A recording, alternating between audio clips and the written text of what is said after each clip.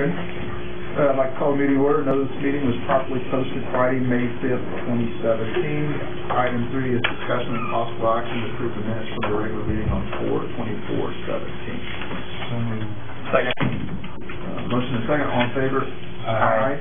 Okay, let's jump down to item number, Five or six. Five, six, and seven. Six is the lease, okay, if we could. Five is the transfer, six is the lease, and then seven is kind of a general catch-all, uh, regarding the shelter. So, um, we do six, if that's okay with you guys. So, one for Matthew. One for you, Gretchen, Randy. Extras for DHS. Yeah, uh, Jack sent me an email saying he couldn't come, but he can. Yeah, I'm, I'm John Pepper, I'm here in fact, Jack Eli. Okay. Yeah. Okay, so,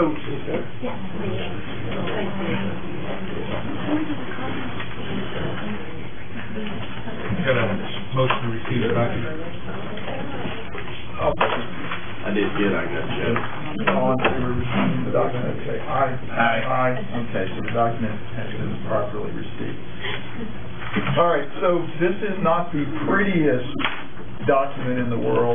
Um, it's been through several iterations and versions going back and forth between DHS, perhaps Sarah, Gretchen, me.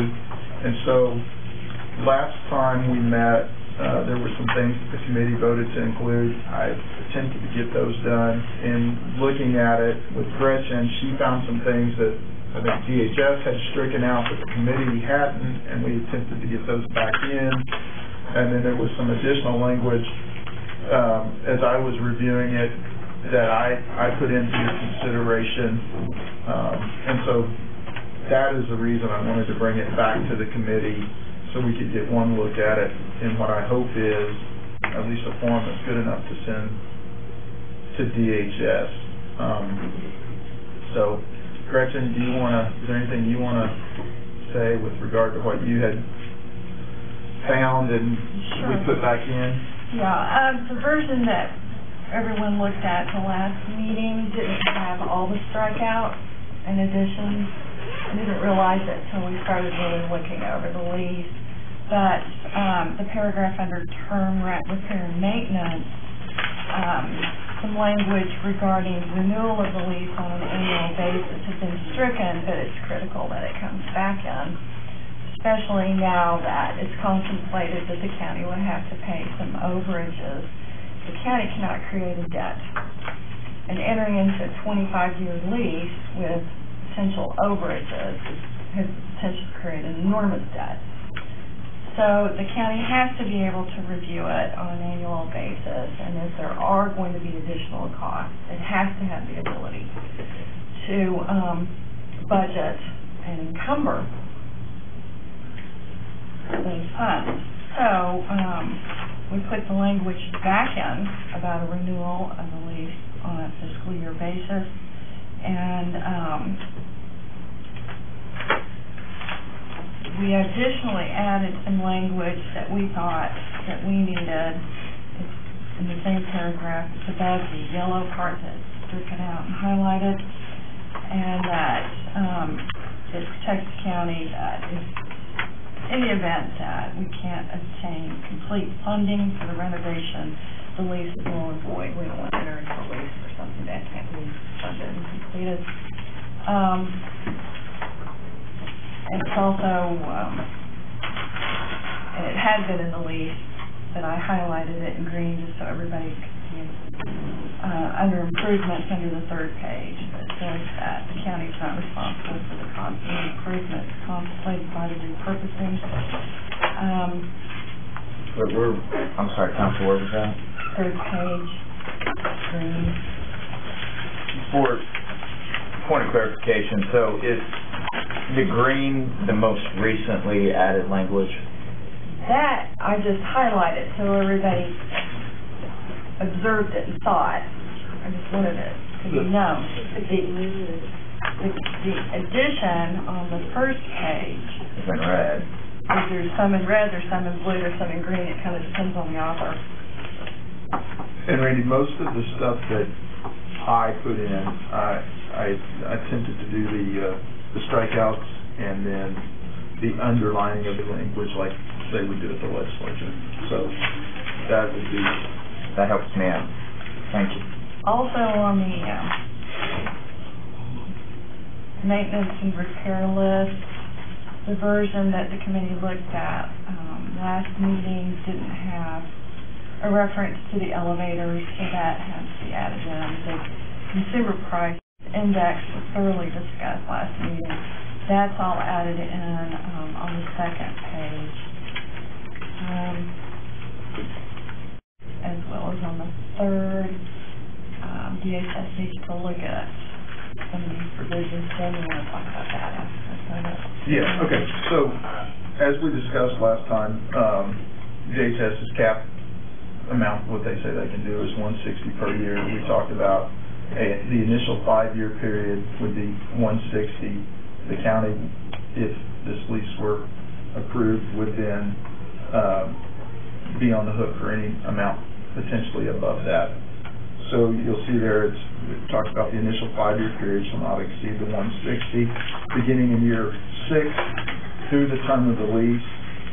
Uh, we would go off the consumer price index. However, there would be no increase less than three, three percent. So, a, a floor of three percent increase in DHS's cap amount each year after the beginning in the sixth year.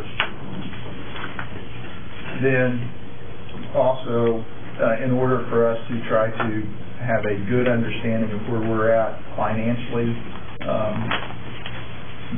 DHS would report to the county, to the board monthly where they're at with regard to their cap amount. So in the first five years, with regard to the one sixty, going forward, whatever that cap amount is based on CPI or three percent. Um, then also, as I was looking at this lease, um, if DHS hit the cap amount at any point in time, and then the county could not contribute funds, it, it would essentially wipe this lease out and it would be null and void and could potentially lead to the, the shelter ceasing operation. So I put in some language that in the event the county did not have the funding, um, DHS could elect to go above their cap amount in order to maintain the lease and continue operations, and that's that notwithstanding paragraph. Um, other than that, oh, and then the liability language that we talked about has, has been inserted. So other than that, I believe that covers all of the changes back to where we were originally. Um, Um, Cody and I had a conversation, um, I don't know if he wants to it or not, but it goes to the difficulties for the county to budget according to these lease terms. Um, and it could be potentially perilous. Do you want to talk about it, Cody, or are you okay? No, I mean, if you guys want to talk about it, you can, but, I mean, I've. You explained it I've very well, explained it that's why I'm several looking times at you. before, so.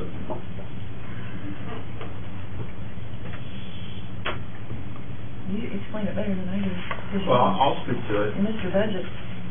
Essentially, essentially, if the county is contemplating spending any funds on the shelter, we would, at the beginning of the fiscal year, have to set some kind of money aside in order to cover any potential cost above the one sixty. And the difficulty is not knowing what that would be, where does that money come from, et cetera. So that, that is, that is a potential peril that the county would face, right, right off the bat. Well, okay, how much do we need, what do we need to set aside, et cetera. Especially if there's an unanticipated breakdown, mechanical breakdown, which we seem to suffer well.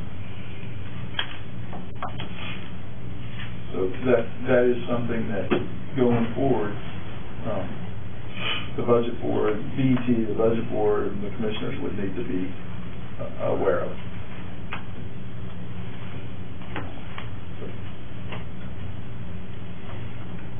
Questions?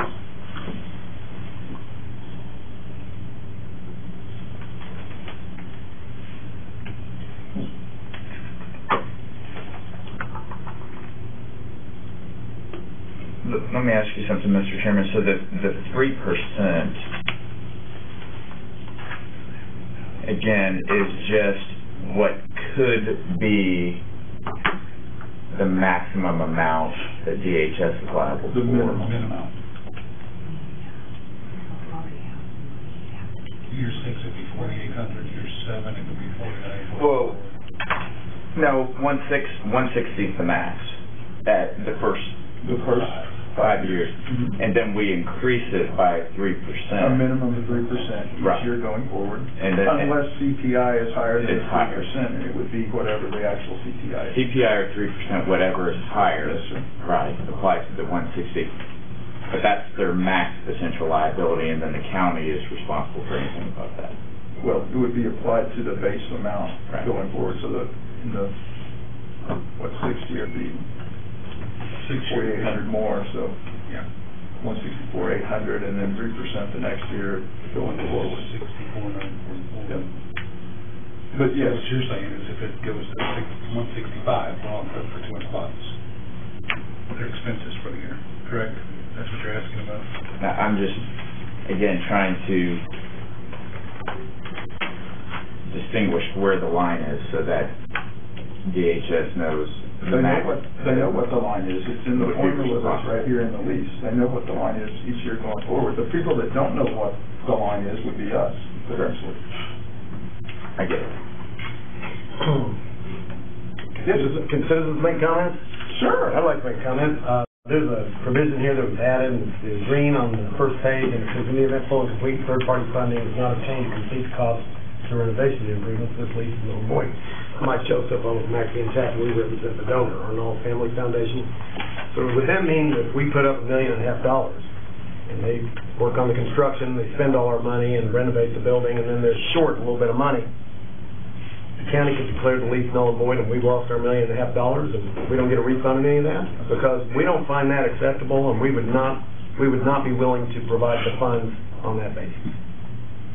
All right, um, Stacy can address the risk involved with putting this project out for bid and the risk that it would go over budget. He explains that very, very well. Um, but it was proposed to the county, in the offset, in the initial presentation, that this would be at no cost to the county. Um, we have identified some additional costs that weren't brought to light initially. And, um, Sarah has worked very diligently to, um, obtain additional funding to ensure that the project does not tank. But there is an inherent risk here to the county. Can you explain what that would be, Steve?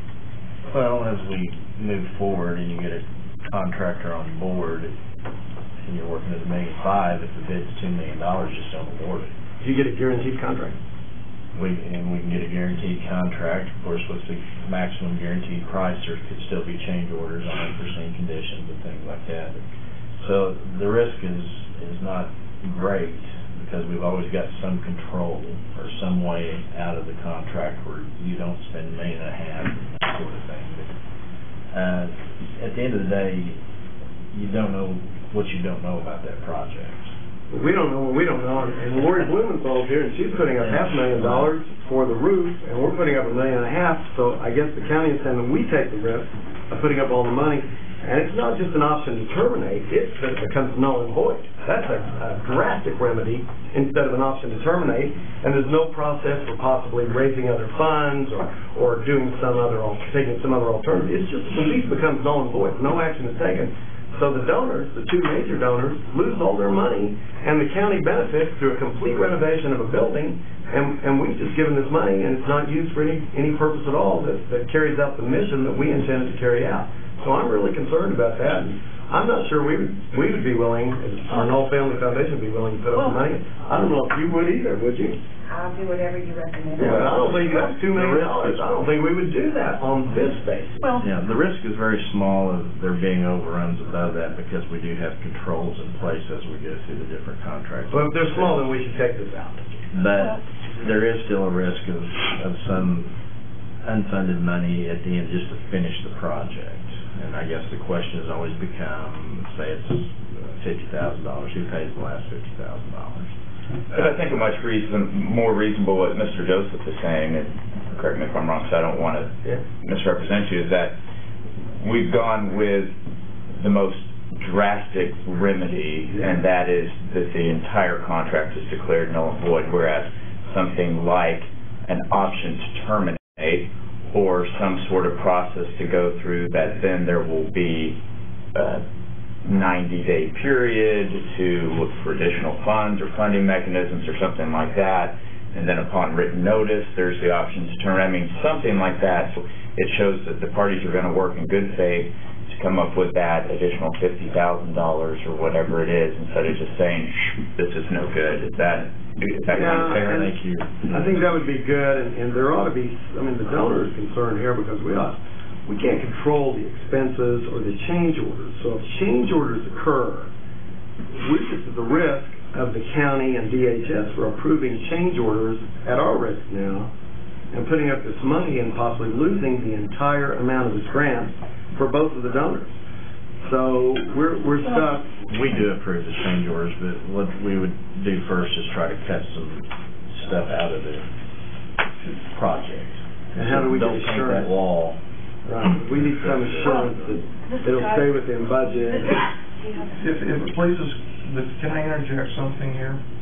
Because, uh, and, and I'm the, the chief architect for DHS, would be the architect of record if we can reach an agreement on this lease. Uh, I've been pushing for construction management, uh, processes since we've started this, and it kind of sounds like we're, we're, we're leaning back towards a hard bid where you, you do have a lot of unknowns until bid day. With the construction management process, we tell the contractor, we get him on board early. We tell him what our budget is, and we design to that budget. And we designed that budget with a contingency, since we're in an existing building, there's gonna be some unforeseen conditions in that building. We design to our budget with a contingency left that would cover a reasonable amount of change orders. And that, I think, is how we ensure that this project go forward, that your, your, your clients do not fund, you know, throw two million dollars at a project that, that is, is not used as intended. I might suggest this as part of that process, and, uh, I know that this group is, you know, the official body that oversees the public improvements and the contracting process, but since that, that is a possibility of, um, uh, oversight or some management, maybe there could be some, some public-private body that oversees some of this. We've been presented from the very beginning with a proposal that was a public-private partnership. And now is the first time I'm attending this meeting, and we've had Sarah involved and Lori's been involved. and we've Okay, relied on them. let me, let me, let me say a couple of things. First of all, unless I'm mistaken, this language that talks about null and void has been in this contract and this lease quite a while, is that correct? no, no. It- Brand new. it's- it's All right, so I- But, but, but let me tell But you what look- my, my thought process Hold on one is. second, let me finish. And then back to the construction management, we've talked about that several times. Stacy has indicated that he is a fan of that and that that would be his preference going forward. Even with that, there are no guarantees, and you know that. So, now Gretchen, the way I was thinking, and perhaps it was not well drafted, is that what we contemplated were three agreements working together and being approved together, and all hinge on each other. The lease, the donor agreement, and now the most recent donor agreement. All have to be approved simultaneously, because if one fails, the whole thing fails. In the event, the donor agreement contemplates that there's a lease in place with DHS. But the donor has the option to transfer the funds I think the, with the Arnall, it's initially um, a smaller sum upfront to get an engineer on board. And then when the bids come in, so she knows what we're looking at, so give her assurances of her costs, and then the money's gonna be well spent. She will see the second dollar amount, and then she will transfer those funds. What I was contemplating is, is if we don't receive those funds, we don't want to enter, in- enter into a lease with DHS. That's what I'm thinking of. I'm, I'm, I am, I am pretty well assured from all the conversations we have had around this table that if the project is humming along and somehow some amount is short, I would fall out of my chair if Sarah didn't jump up and say, I can fix this, I'll, I'll help you. Or somebody at the county said, oh my gosh, we'll jump to the plate because it's incredibly futile to expend all the time, energy, and money to get to the point where you're just a couple thousand dollars short. That's my gut feeling. But what I don't want is it's now become a multiple party project. The generosity of the Blumenthal's, the Arnalls, DHS coming on board. It's just keep it all together because if one falls apart, the whole thing topples down like a house card. That's what I was contemplating. If you can think of better language, Question, maybe instead of complete the cost of the renovation, uh, full and complete third-party funding is not obtained as contemplated, well, it's not received, uh, or third-party funding is not received. is not received as contemplated, uh, under, I mean, because we're tying in three agreements as contemplated under the project or Well, how about this? In the event full and complete third-party funding is not received per donor agreement, this lease is null and void. Why, why is it null and void? So the, an option terminated? Well, you could do that. If either party given an option to terminate.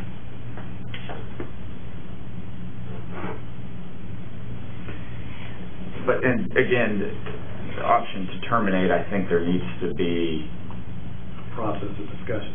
i- in, at- in at least, I mean, not an unreasonable amount of time, not necessarily 180 days, but maybe 90 days. And so during that notification period, you know, there's time to work on addressing whatever the issue might be.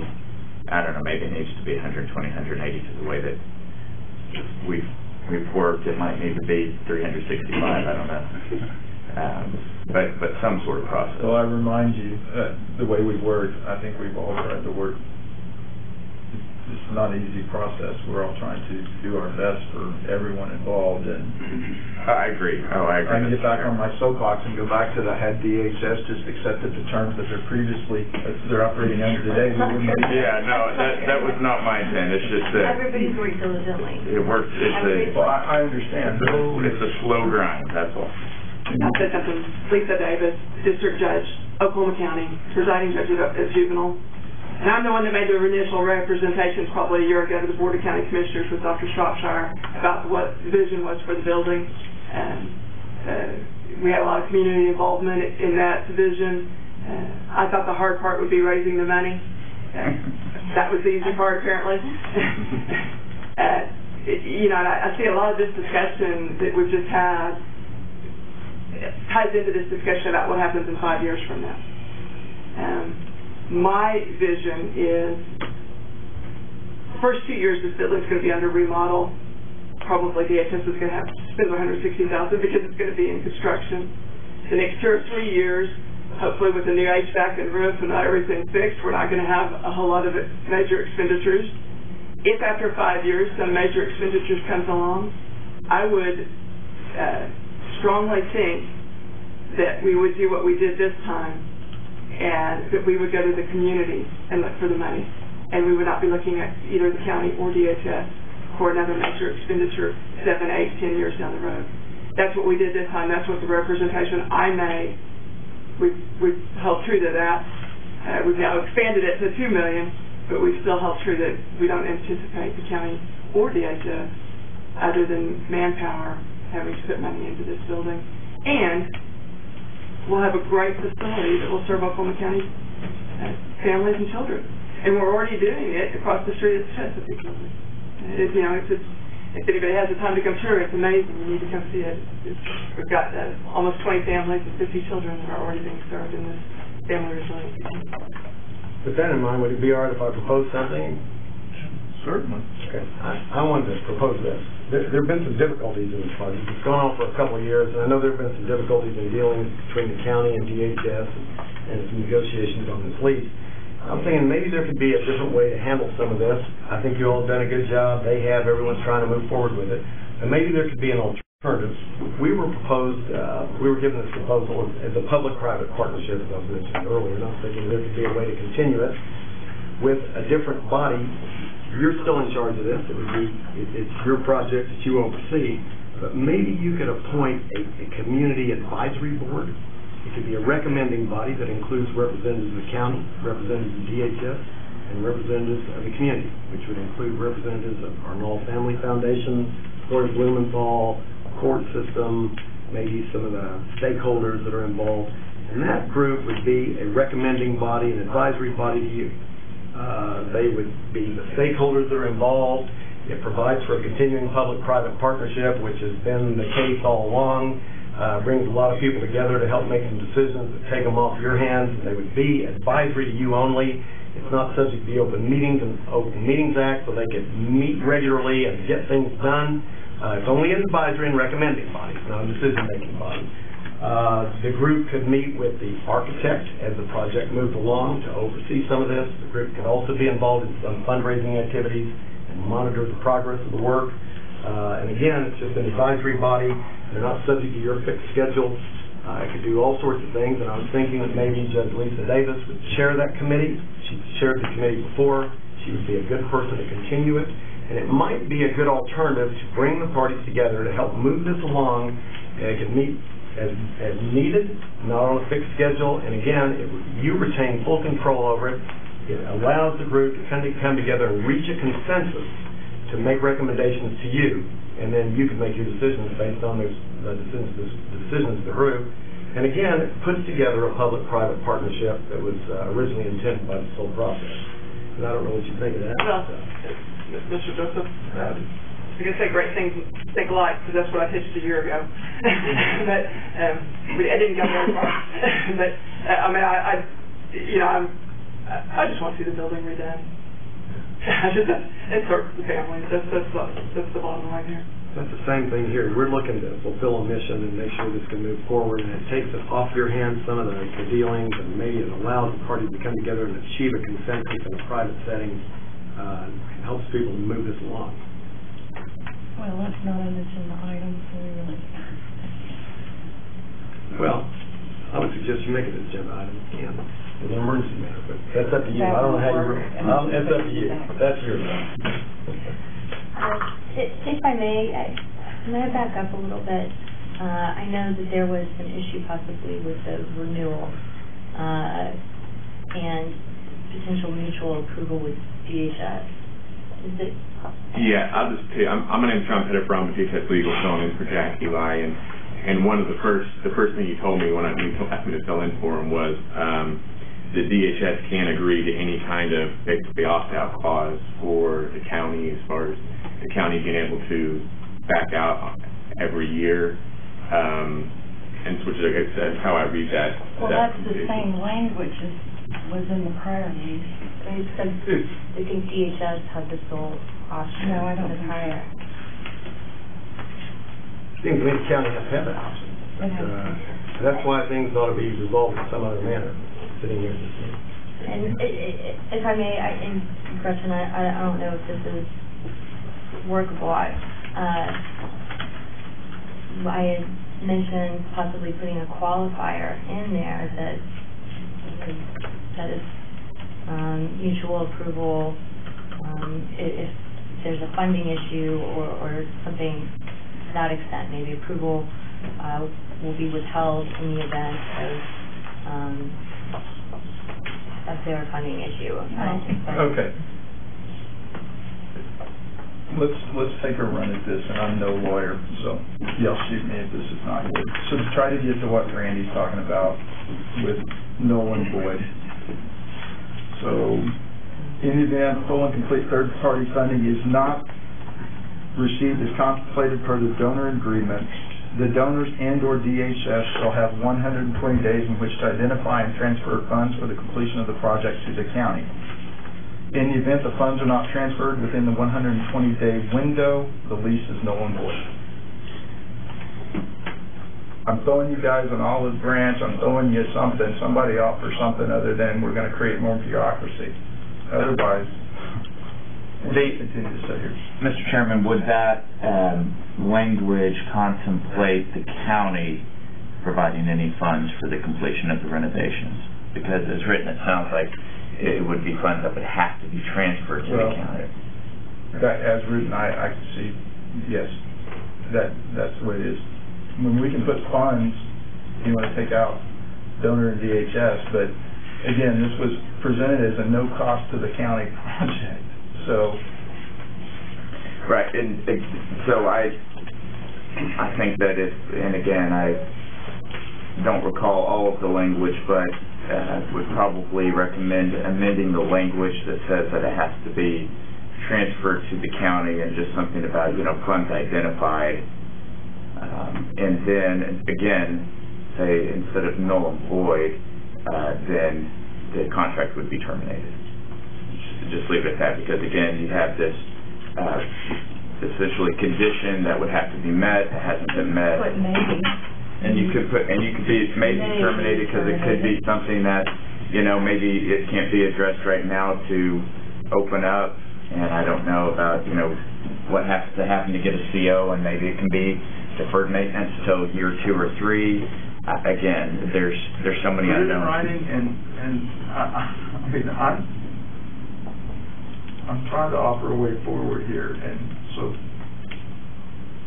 Uh, And I appreciate that, and we're having to uh, amend on the the fly and draft by committee, and which I know we want to try and move this forward. I I don't know to what extent DHS, our other stakeholders want time to review and propose language, because, I mean, again, we're, uh, or we can hammer it all out here if we have all the, the if we can do it here, then let's do it. Again, is, is it legal to do something like Mr. Joseph has suggested with this contract, where there's, there's, there's interested people from each party that get together, hammer out the language of the contract, and submit it for the, this, this committee's approval?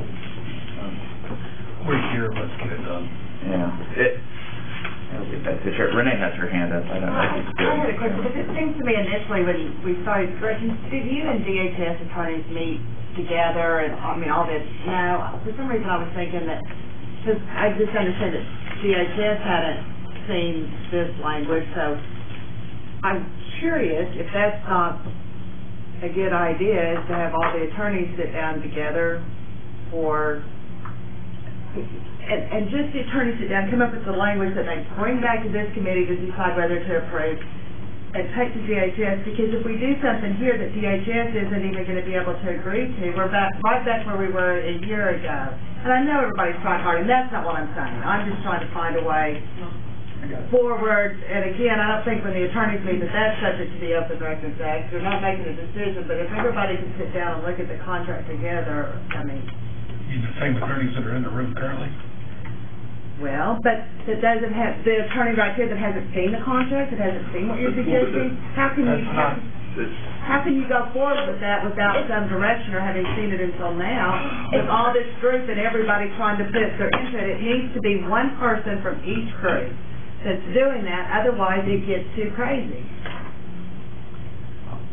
And I'm saying that as an attorney, so yeah, I understand.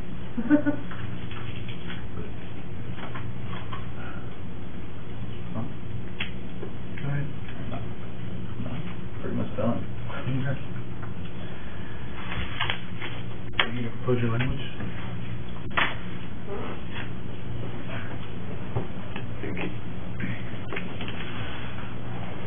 I, well, just on that, note, propose a question to counsel, I mean, is that, a- is that even a possibility for us to have the attorneys, um, negotiate terms that are then presented to the board? I mean, to the, to the committee that can then be recommended to the board?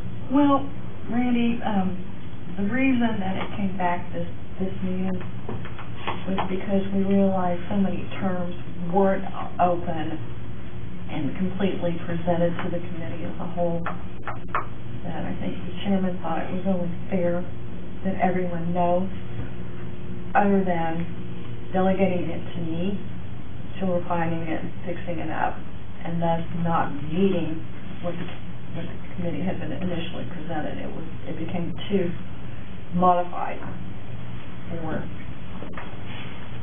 That's fair enough. So what, so, I mean, he, he- it was just, to make it very clear what- what the terms were, what the terms were being con- contemplated. Yes, it could have been done with me and DHS, and it could be a brand-new agreement, but that's not what the purpose of the committee was. So And it that's could why it be wasn't done that way. Done that way, and it could be that someone on this body or DHS objects even after the lawyers have looked at it. and that, and that makes sense, so if I, my proposal, Mr. Chairman, is just for the sake of, um, maybe organization, instead of us spitballing all of these ideas, which are, are great ideas, um, should we just start page one and the first change and, and go through page by page, paragraph by paragraph, and, and negotiate terms? All right. Um, so my understanding is that the county is saying that they have to have the red language that's in the paragraph, term rent, repair, and maintenance. Who doesn't have a copy that needs one? Because we can. I can, think maybe can DHS come up to the table with Sure, John? yeah, yeah. Uh, I think that would be helpful instead of, And I'll just say too, I can't officially, you know, consent to anything. I have to go back to our executive team and make sure they sign off on it. But I know our general position on some key issues, and I can tell what they'll probably say. And you didn't get a copy of this prior to today, right? no, Well- this is the first, this is the first everybody's seen this, all this language. Okay, nobody's, And nobody I- on any of our sides. I, th- I think that's fine, and what we do is we get a, a, I mean, the purpose is we get a, an amended lease that we can recommend to the Board of County We have Commissioners one today. that's already been recommended. True, um, but I'm saying that, that what we're doing right now, the purpose, and if DHS comes back and says, we can't do that, at that point, it is at the level with the decision makers. I mean, all we can do is recommend to the Board of County Commissioners, and they can make a decision then if they're going to amend on DHS's terms or not. I think if you would, I- and please forgive me.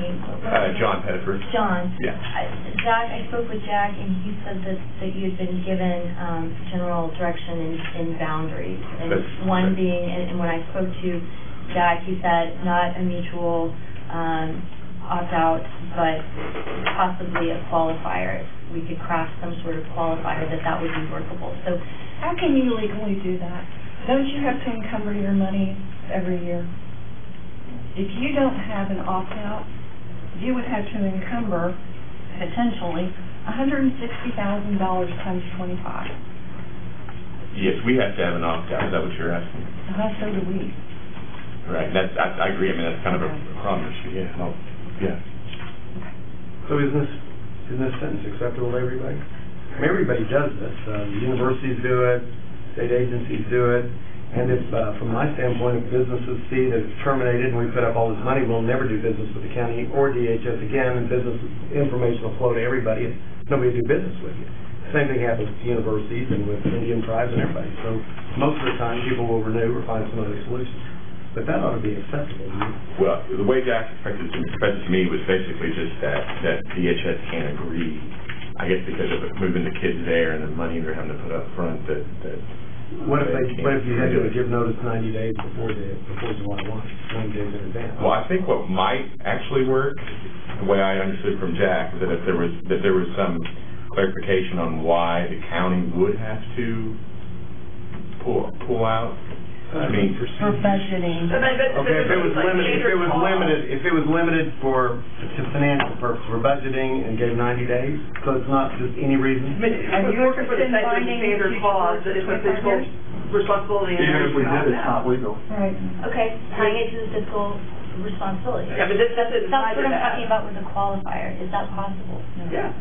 Okay, But That's, that's pretty standard language in every state contract, is that it's a fiscal uh, obligation isn't there, then they can opt out. I mean, put the, tie it to the fiscal obligation. And by that, Your Honor, you mean uh, upon availability of funds, that type of language? For the next year, the next year, yeah, because neither the state nor the county can tie up money past the next year.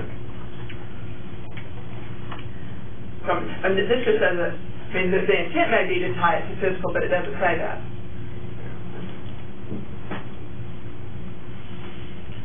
What's the proposed term?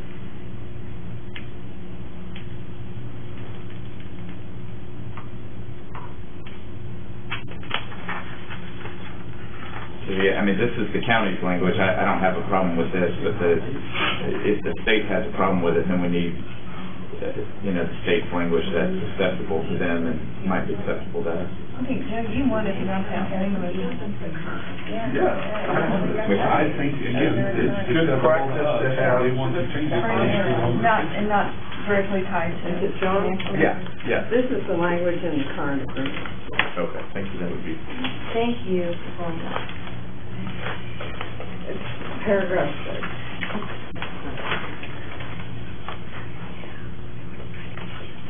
I'll tell you what. I kinda like something you said earlier, Randy. Let's just put it in the hands of the commissioners. Is there a motion to approve this draft? There is, it's mine. To recommend this to the commissioners. Joe, the only thing is, it's my understanding that DHS won't be able to approve. Oh, I'm just trying to get it to the decision makers. Could we work on a potential, a potential revision of, of this clause, or this sentence tying it to the fiscal obligation before approval? I'm, I'm free to let, I'm willing to let them do what they wanna do. I think if you leave the sentence unknown and void the donors, they're not gonna go forward with it. Again, all I'm trying to do is, all I've heard is complaints about getting off high center. I think we've tried to do that. I'm trying to send something up to the decision makers, and DHS and the donors can then hash this out.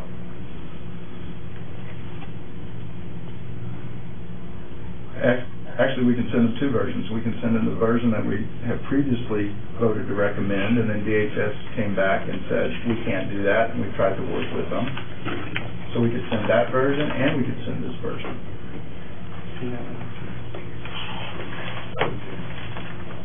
So I guess my motion dies for lack of second.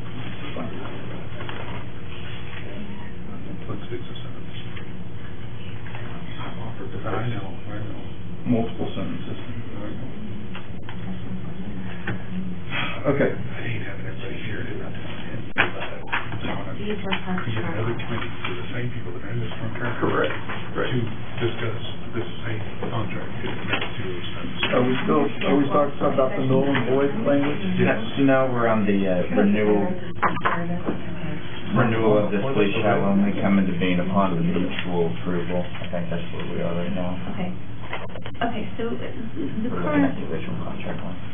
the current state is that the lessee, uh, has the ability to, uh, discontinue the lease. And But then it says, the parties understand a renewal of this lease shall only come into being upon the mutual approval of such lease, given on or before Ju- July one of the fiscal year within which each, each seeks to bind the other.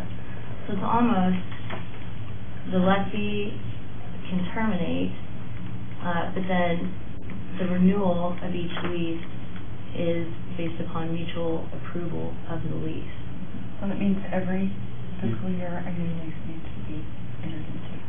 Which is, Right. my understanding of the way it's been done. It's a lease continuation agreement that we submit each year. The same terms and conditions. I- I'm, I'm fine with the existing language. Is that, does that pass legal muster as far as what the county's obligations are under statute? That's what it says in red right now. Except, It- except we, we, lessee agrees to declare in writing to lessor its intention of whether or not to continue the lease. Right. Well, that's, that's really repeated that the parties agree to give notice in writing not to intend to continue within thirty days prior to June thirtieth. So we have that, so, I mean, I think the question is, what's the objection of the state then? Because whatever's written in the current agreement is in the proposed language that we have today, is it not? Because my thought is though, reading the, reading the two provisions and reading the two sentences together potentially changes the, I think, interpretation of the renewal, right? So instead of necessarily, uh, a straight kind of termination opt-out here, you have that the lessee has the right to terminate, but the parties have to, uh, have to renew the lease every year. That kind of explains the process.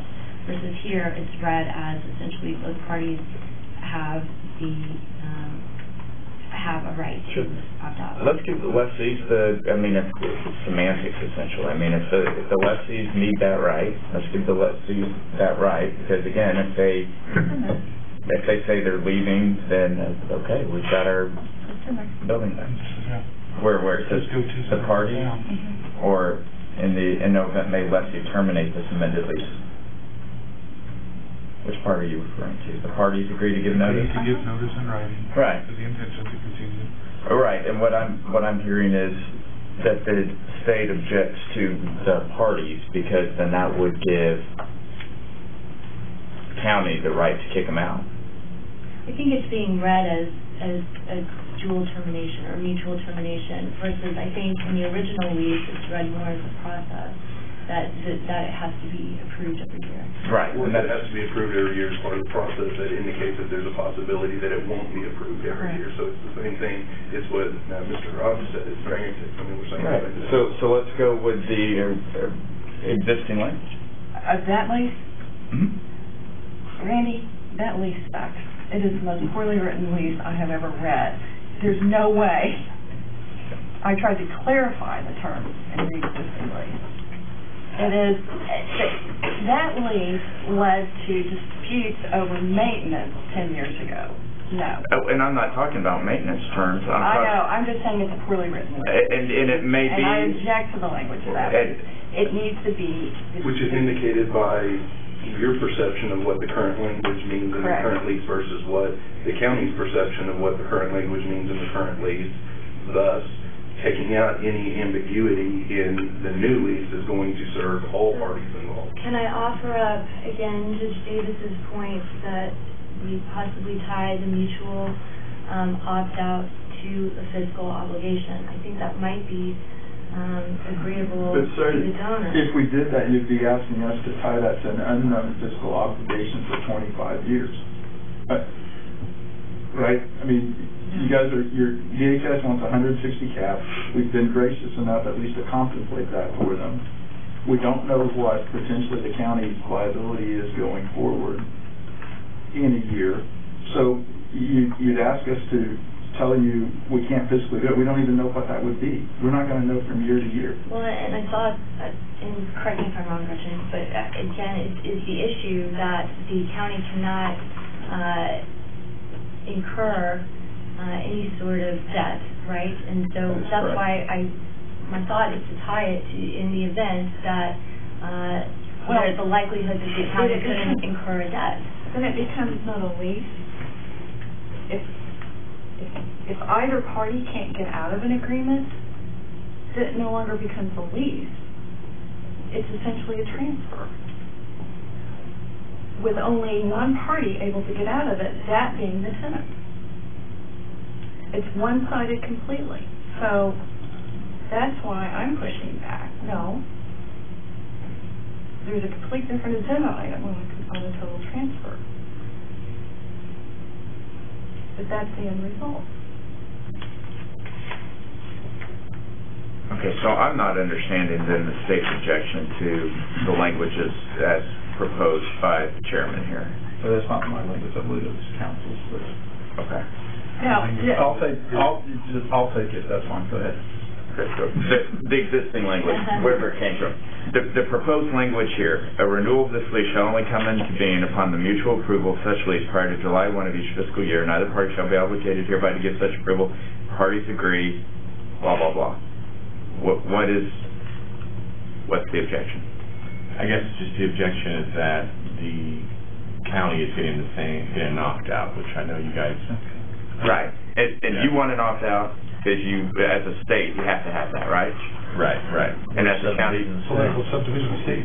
So, Right. I think part of the. this is the state with the state. I mean, the thing is, yeah, we're an arm, I mean, just like DHS is an agency of the state, I mean, the county is just an extension of state government, so. I think part of the concern is one that, that these negotiations have taken quite a while and, and we get into, um, other issues of, you know, maybe the county hanging over DHS's head. Uh, that was a little bit, of that concern was a little bit expressed to me.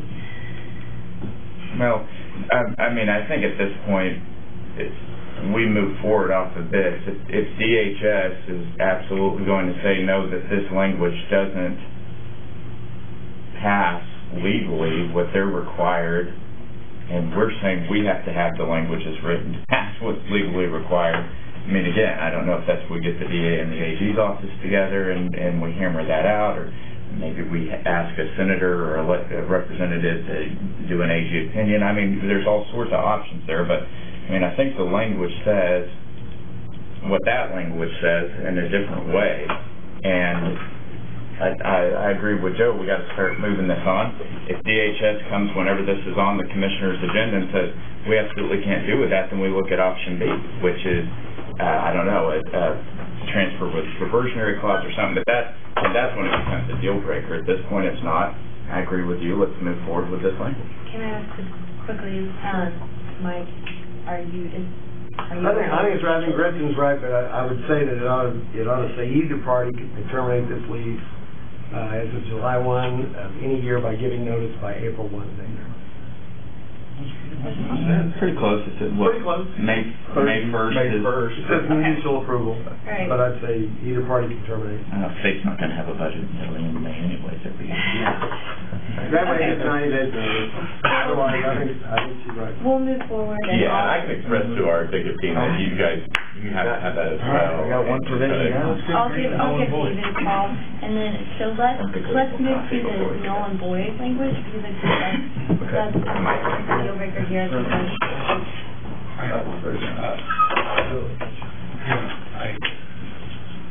The only thing about the null and void I would say is, that, you know, I would just say, um, I can write it out, but, uh, let me look at it. It's not funding, either party may terminate this lease, uh, and then uh, another sentence, before terminating, um, party, you know, whoever's terminating will, uh, somehow get notice, on who they're gonna involve, give notice to the other party and, and, uh, evaluate options for raising additional funds or, or finding other alternatives to termination and, know, funding. once the determination of the funding is not found, notice will be given. Hundred and twenty days is what you will have to Okay. seek additional funding. We'll move from there. Okay. I mean, that gives you. Well, I'm not, we're not. Well, yeah, right, right, right. I mean, that gives four months, uh, Yeah. I mean, it's what- I offered some language previously. I'm sorry, I I forget it. We'll- Okay, so it would read, in the event full and complete third-party funding is not received as contemplated per the donor agreements, the donors and DHS shall have, and this was a point, that was point of contention, I acknowledge, one hundred twenty days in which to identify and transfer funds for the completion of the project to the county.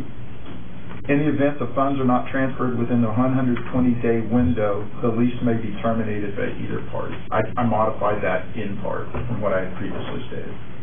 And I would move that language. Second. Randy? Aye.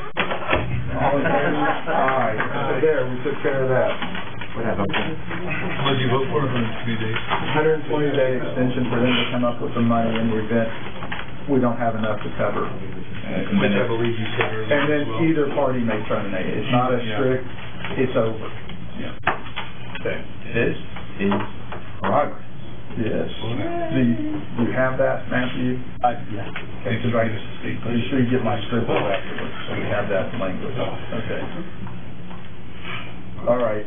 Now, with regards to the items that are listed 1 through 13, that was DHS's language, which this group never approved. I, 1 through 14, if I remember correctly, is what we, was in the version that we have previously said we would recommend to the commissioners. So there's I no, think the elevators were added because they weren't really identified at that point. okay. So is there a motion to include items 1 through 14? Second. And motion is second, all in favor? Aye. Aye. Okay, now we get to the language regarding the hundred and sixty thousand. Um, first paragraph, years one through five, DHS's contributions will not exceed one hundred and sixty. Did I fairly get DHS's position there? No, I fairly covered our position. Yes. I mean, these are, this is So is there a motion to accept that paragraph? last time. Can I hear some comments? Yeah, I think, I, I've got hundred, my notes project hundred and sixty for the first five years. I, Right. is the three percent new, is that part new? That's all the CPI. That's all the CPI that we talked about last meeting. But the- Okay, yeah, yeah. But is the three percent floor, is that That's part a new? floor. That's That's new. new. That's new, yeah, that's new, okay. So I can't really say without talking to the executive they'll be okay with it or not, but. Okay, well, I- I- I'll tell you what we can do, so, the, one sixty for five years is good, we know that. So, that's what we had talked about, and I included in this, so are you gentlemen good with the first paragraph? Motion to approve that first paragraph. Agreed. Okay. So moved or second? Okay, all in favor? Aye. Okay, now, we get to the language, uh, with regard to the CPI, which DHS is aware we were discussing that, they were not aware of the three percent floor. However, is the committee good with that? If you are, then I would move approval of all the language having to do with the consumer price index for increasing DHS's cap years six through twenty-five. And then if DHS has a problem, if this is recommended to the commissioners, I can take it up with them. So, is there a second? Second. All in favor? Aye. Aye. So you're gonna check on that three percent? Yeah, I'll see that.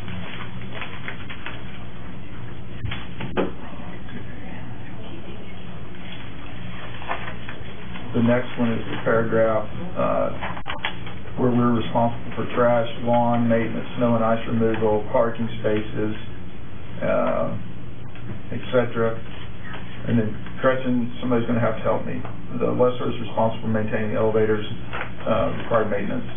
Was that previously taken out, or I didn't take it it came out. I back in think one you of the took it out. versions, I thought, did I take it out. I out? think you took it out, Okay. because the elevator had now been readdressed.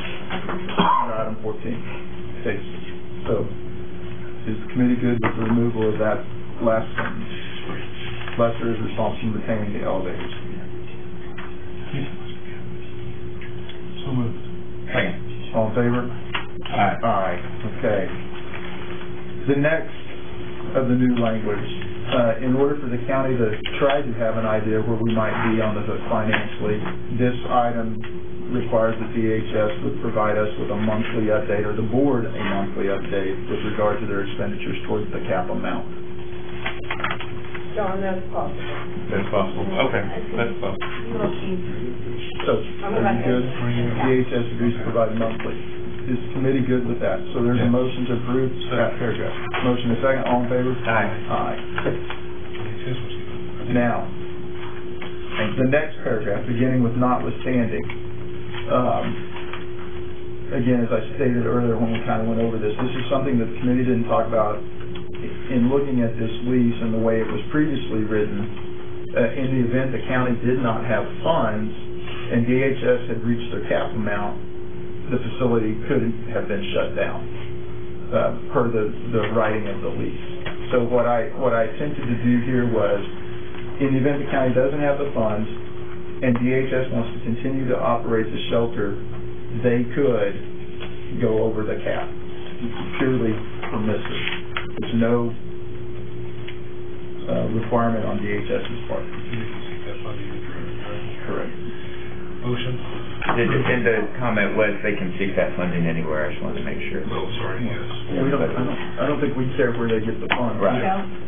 May, may I just ask? Sure, sure. And I, I feel like I, I have David living in my head a little bit here. Um, can we put something to the extent upon, uh, documentation showing such, or what? Impossible. I, I, I know what, you- I mean. You know what I'm saying? Yeah, yeah, and it's, um, that, because we're in the middle of that process right now with our budget evaluation team and getting ready to present a a budget to the budget board, and so, um, So again, I'm hearing David saying, so what is going to prevent the county from saying, oh, man, we don't have it, sorry guys, Nothing. and nothing to show? Nothing, Yeah. just look at the state. Same with. Trust So. Yeah, it- it- I mean, and again, it's one of those things where, yeah, well, yeah, you have, you have more revenue this year than you had last year, but then we could, and I'm just gonna pull this out of the air, say the sheriff's office comes and says, yeah, but we need a eighteen to twenty-five percent increase or something like that. And the, the county has constitutional requirements that have to be funded prior to others, and this would not be a one right, requirement, so So can I throw this out there? Isn't that what the mutual, uh, opt-out is essentially to address? Uh, I, I feel like this paragraph is going to come, uh, or not to suit very well. Is it possible to take this paragraph out and rely on the fact of the mutual opt-out? No, Joe explained what his intent was, and his intent was for the lease not to fail if the county doesn't have funding.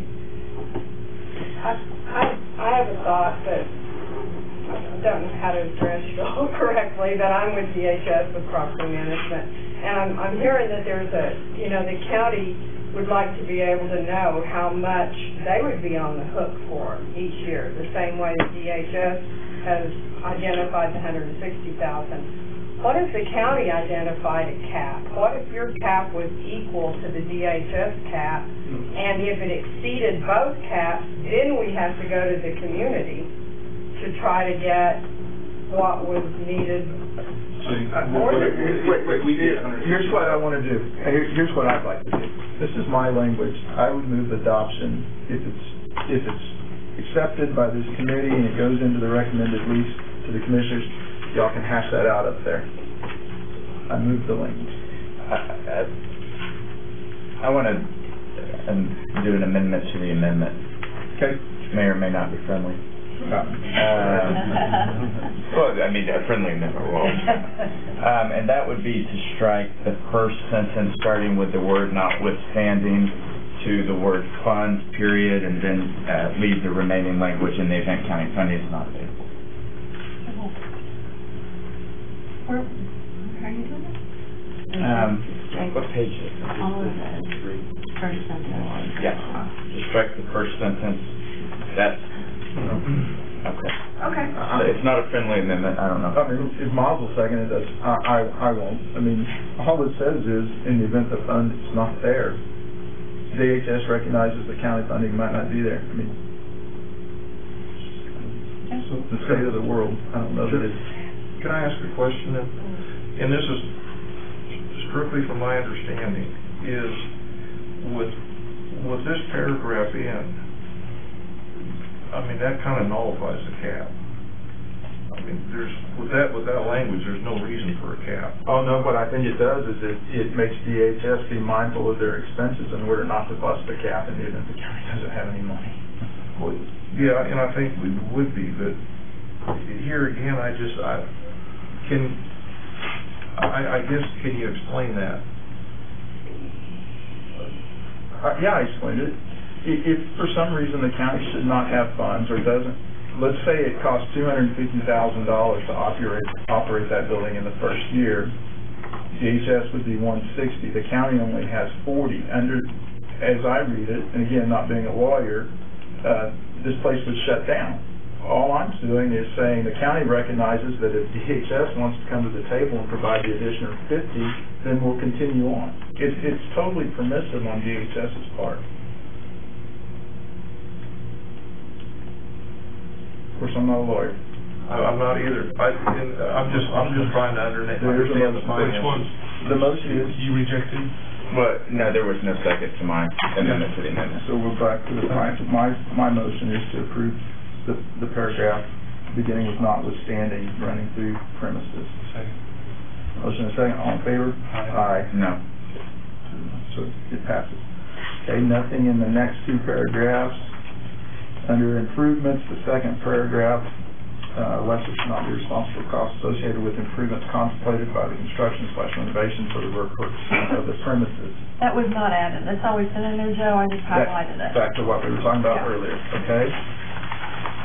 Next page, the indemnification section.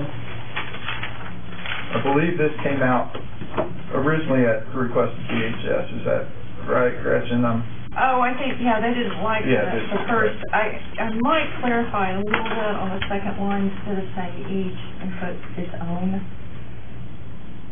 So the parties agree each party will be solely responsible for the act and omission of its own party's officials, employees, rather than each. Each is a little confusing to me. I move that amendment to the amendment. Okay, so the indemnification section, we're all, we were all on the same page there. We're good with striking the first, the stricken language on the liability. And with Gretchen's amendment to the new language, we'll take out the word each and we'll read omit, omissions of its own party's officials. Is there a motion? So moved. Okay, and second, all in favor? Aye. Okay, so now, this committee has approved all of the changes to the lease. Is there a motion with regard to the lease for a recommendation to the Board of County Commissioners? So moved. Second. Motion and second, all in favor? Aye. Okay. Joe, do you want, um, to give me direction once I receive a cleaned up copy of what it to, um, DHS for their prior review or not? Yes, that would be excellent. Is there a motion to that effect? So moved. Second. All in favor? Aye. Okay, so that takes care of item six. With this lease now at least being, going to be recommended to the Board of County Commissioners, is there any action necessary on item five, which is the transfer? Yes. Okay? Uh, Mr. Chairman, I want to, I would propose, since this is moving to the decision maker, the ultimate decision maker level, that there may, and I would speculate that there will probably continue to be some lease term issues, just because I know there are ladders that this needs to go up still, and, and there's legal eyes that still has to look at it. So, I would propose, um, just for the sake of moving this forward, giving the commissioners all of the available options, which they have anyways, but Right. just from the perspective of this committee, I would move, um, I would move recommendation of transfer of the county-owned property, which is With that. reversionary clause? With a reversionary clause. Well, That, so that, I, I move recommendation of transfer with a reversionary clause.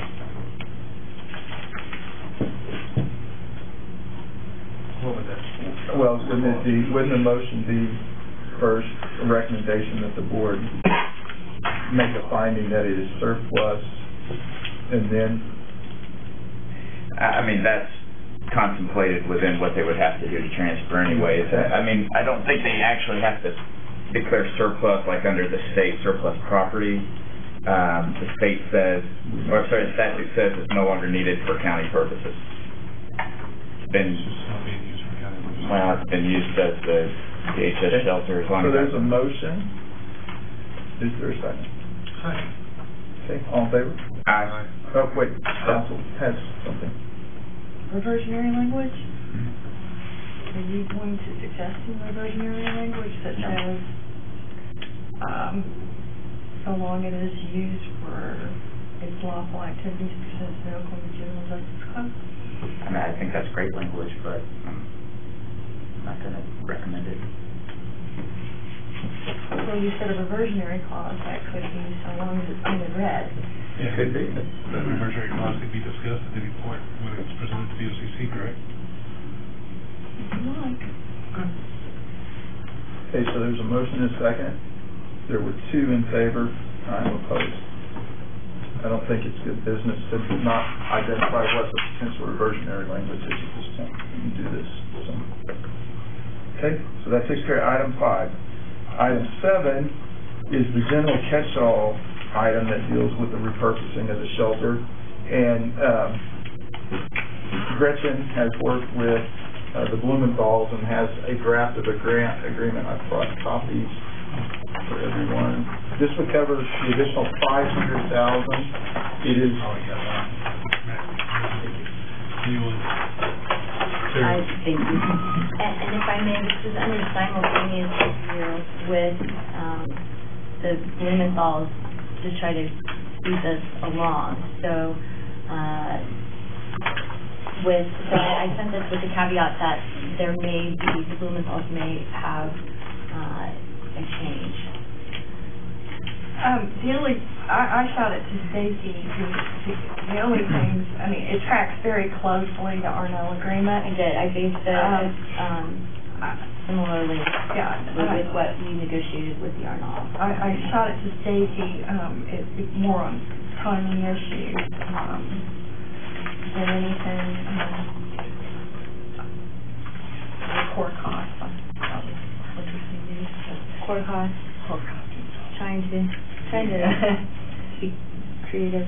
Yeah, so anyway, um, I think at this point, it's just informational purposes and an intent, not specifically for approval, because you're not to that point yet. whatever it needs to be to move this project forward. I would not want that to be something that would keep us from moving forward. Are you comfortable with the draft Yeah. as you read? Yes. Okay. Are you comfortable with moving forward as recommend, recommending this, uh, agreement to the board? Except, I would say this, on behalf of Blumenthal and Arnall, that we once again recommend that you consider an advisory body. Duly, duly I would like to further my comment because this is the first meeting I've attended, and I can tell that the dealings in this are unsatisfactory. It looks like you guys make arbitrary decisions that are rushed, they're not effective, and that you need a group that will put this together and move forward in a reasonable way that can oversee this and monitor it. And it doesn't look like a satisfactory process to me, just based on my attendance at this particular meeting. Uh, and that's what I'm gonna report to Arnall Family Foundation, because this doesn't look like a satisfactory process to me, and I, I think you guys act fairly arbitrarily based, you know, based on the documents that I'm looking before me and the way that you react to them. And this has been proposed by Judge Davis. It seems to me it's a public-private partnership that isn't occurring, I don't really like the way this is moving forward. Well, so you can go back and see that we don't rush and make arbitrary decisions. All of these meetings are available online. Had you bothered to come, you would know that we've been over backwards. Now, I, I have been trying, Well, sir, I, I, I, speaking personally, and hopefully for the committee, I don't appreciate that. That's not, it's uncalled for, it's not productive, it's not necessary. We've all tried to work together to further the best interest of all of our parties. We represent the county, or one-third each of us. I think the suggestion, underlying suggestion is a good one to the, in, in the event that we are going to move forward as a partnership in this project over the next year, uh, at least in the construction. And we will, and, and under the grant agreement, in the Arnall grant agreement, uh, we, they are, are able to designate a representative and we are, are to report back. So Correct. I think exploring how that would look is, is a good Well, suggestion. And sir, you've been working with Gretchen on this from the very beginning, even prior to this committee, I think, even being formed. And, and there was never any intent to ever shut out anyone from being able to come to the table and speak, and I don't think that has ever occurred. However, Gretchen has explained, and I believe Stacy has explained, that the county has certain legal processes that we must follow. And that's why we had to do the donor agreement, the money come into the county coffers, the county led the project, the county oversee the project. I don't think counsel's asking us to not follow the law, at least, I hope not, because I don't see that we nor the board would, would go down that road. I mean, I think it's just a general statement on, on the difficulty of the negotiations. I, I think moving forward, I think it's, it's a good suggestion of the parties coming together in And as you said, that's contemplated in the agreements, and I don't foresee that that would be an issue. So, again, I don't think those comments were appropriate, however, that's just my opinion. Is there any action necessary on the grant agreement, other than to receive? I, I thought I heard Ms. Blumenthal say she was okay with it, if Gretchen's okay with it, I would move that, we, we previously recommended the Arnall agreement, or approved recommending that to the board, I would approve, I would move that we would send this one up to the board as well. Can we do that under the, the item that we have here, having not received, I didn't receive the document ahead of time. Well, we can, okay. Well, we can Well, I'll withdraw and make a motion to receive. Second. All in favor? Aye. Now, if our counsel doesn't have any objections, Sarah, you're good? Uh, yes. Okay. I think we're under seven, but I think. Right. Yeah, that's all. All those, it's just for us. So we used to have one that was very specific to the donor, it may not have been this. You can receive it but not approve it at this point, I think, and plus, I, to give the Blumenthal's a little bit more time if they want to refine it. I tell you what then, Decision. we, we've received it, it doesn't necessarily have to come from us, it can go directly on the You're right. board's agenda. You're So right. Okay, that's- my suggestion would be then that when the board hears the recommendation on the Arnall agreement and the lease, that one of our three bosses put this donor agreement on at the same time. How's, fine. that fine? Okay? All right, so that takes care of items five, six, and seven. Is there anything else with regard to the shelter under item seven, the general catch-all? Mom? No. Sir, you have anything else? No. Do you have anything else? I don't think we have anything. Okay. Which meeting will that be going to, this Wednesday or next Wednesday? Well, we won't go this way, I don't think. No, just give us two weeks. That way I can work with Matthew to make sure that we get all the changes correct on the lease. I'll get it to Gretchen, and then we'll get it on the agenda. That's, So, are you, we're shooting for May seventeenth, be a week and a half from? yeah. And that's for all of the, Uh, both Yeah, items? the two recommendations from this committee, the Arnall agreement, the lease, and then a, a standalone from one of the three members of the commission on the Blumenthal.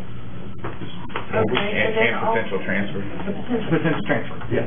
What was that date? May Seventeenth. seventeenth? nine o'clock. So that's next Wednesday. Right there. So if the We can have, transfer we can have next. is approved, the other three will just be moved. Correct. Okay, anyone else have anything on shoulder? Judge Davis, thank you for coming. I kind of occasionally think, what have I got, our- got us into? And, you know, but with the, with the, you know, I appreciate everyone, you know, these are, these are unique birds with the DHS and the county, and obviously, there's longstanding twenty, twenty-five years of, of history here. uh, That, you know, this, this is the potential to really change how we're doing business for children and family on this weekend. Yes, ma'am, I think we all agree with you. Renee, thanks. Anybody else? Lori, thank you for Thank you. stepping up to the plate, and helping this project move forward financially. Since we can't publicly. I believe in it. Well, We'll be soliciting all of you guys for the next round. We got the startup cost. You see how much money this guy makes? Just likes.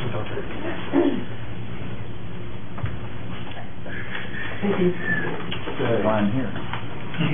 I can be.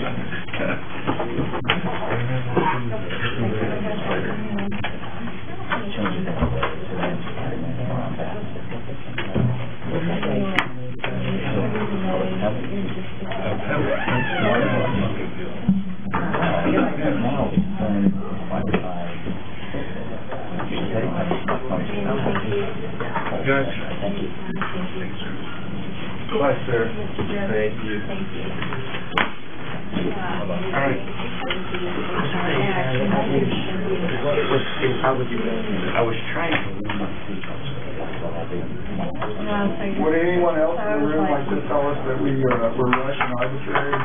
you are rushed, yeah. Not possible. I, I, I thought. Not possible. I just feel like Randy donated. Not, Friend of yours, Randy? uh, not no. Is there coffee somewhere? Yeah, but clerk, would you like me to get it for you? I'd be happy to. Yeah. Move the next item. Okay, all right. Call. You need to go. I'll be done in about fifteen minutes, I hope. Just call me when you get close. Bye. More quicker. I'm sorry. No. My daughter's boyfriend is playing in the state golf tournament. She's freaking out because she's not there. Item four. Yeah, item four, uh, discuss review possible action regarding update from staff on the TIP two projects. Uh, item A, annex roof replacement. Anything? Nothing new on A, B, or C.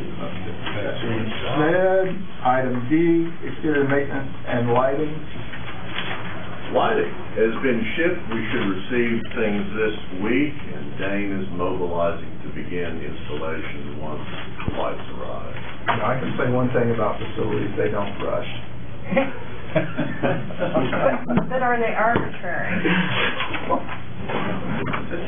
Okay, item Arbitrary and slow. Item E, uh, I'm sorry, I can't read. Item E is the ninth floor demo and the elevators. We've done quite a bit of abatement up there, and I think we're waiting on the, the labor department to approve our, what we've done, the the status. Yeah. And as soon as we can get them here and sign off, we can get our contractor in, so. That's right. Okay. Item F is the ninth floor repurposing. I would assume there's not much there, but No, we, we did a drawing on the space that District Two wants, and I think this board's already, uh, dealt with that. Okay.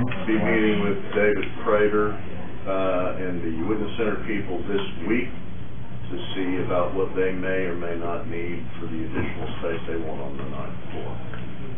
Okay. Item G is the lower jail roof. It is under construction. The contractor's down there today. Awesome. Item H, uh, jail fire notification system. There are three devices left. Three devices. Three devices. Three left that uh, Simplex Grinnell has to install. The last word I had was we were waiting on a PO from the sheriff's office for Simplex Grinnell to be able to engage the the vendor to finish that up. I've asked for another extension till the end of June from the Department of Labor on our violation notice. I haven't received a response yet, but hopefully they will approve that. Motion to accept. Second. All in favor? Aye. Okay, item number eight, discussion view and possible action, uh, regarding the condition of plumbing at the jail. This was requested by, uh, HR Health and Safety. Dan? Or Keith? Or? Don is out sick today, and he had, he had this information on that. I don't know, Stacy, if you have anything to, Now it's his presentation. I would request that you, um, table this item, or, or strike this item and add it back to the agenda next time. Okay. Motion to strike. Motion to strike. Second. All in favor? Aye. Is there any new business? We can't miss your motion. No. Okay, citizens participation, I think they've all spoken. Oh, wait, did you, we on board comment? Yeah, Randy? Oh, yeah, Well, let's do those. Yeah, I, I wish that some of the individuals that were here previously were still present because uh, I agree with the chairman that Mr. Joseph's comments were inappropriate and not helpful. Whereas I think that some sort of maybe citizens oversight committee that has stakeholders and things like that may be beneficial. Um, You know, certainly we're not going to be insulted into that. Uh, The work of this committee is not, and the decisions of this committee are not arbitrary. Uh, Again, I understand that somebody who maybe is solely in the private sector does not completely understand what it takes to operate with the Open Meetings and Open Records Act. And again, I've been a part of the sausage-making process. I know all of us have at this level and other levels, and yeah, it's frustrating at sometimes. But again, this committee has worked diligently. This committee has worked very hard, just like all of the county employees that I've uh, had the the pleasure to work with. So uh, I found those comments, uh, well, they're they're simply not true. And again, perspective is his reality, uh, but those aren't helpful. I, I hope that does not cloud um, our opinions and judgment as we move forward to consider what may be best, including that type of committee. But again, I found those very unhelpful and uh, offensive as well. And I intend to speak to Mr. Joseph individually about that. Otherwise, it's great to be back. Happy Monday. Hi, Miles. Again, I, I'll just say I, I made my public comments directly to Mr. Joseph, and if I have the opportunity, I or my boss will reiterate those to him. Gretchen, thank you for all of your work. I, Well, I've thank you, enjoyed working with you on this. You worked very hard on this. Okay, Move to adjourn. motion to adjourn. Second.